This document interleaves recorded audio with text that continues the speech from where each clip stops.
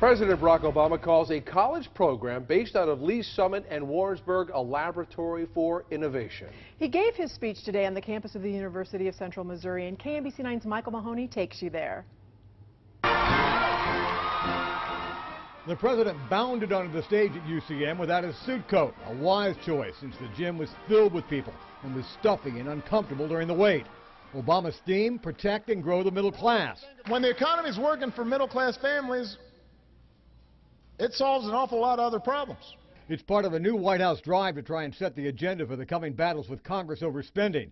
He told the crowd that a local program, the Missouri Innovation Campus, is an accelerated computer science college program with an internship that moves students through college faster. What, what's happened at UCM is you've partnered with Lee's Summit School District, with the Metropolitan Community College.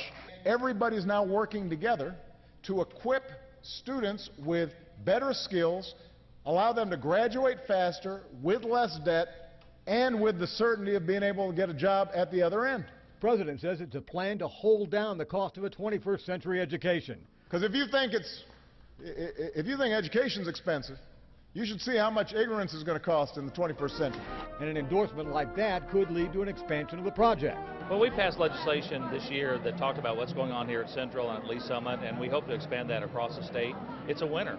So the president praises a local program as an example of affordable college that can help protect the middle class. Michael Mahoney, KMBC 9 News.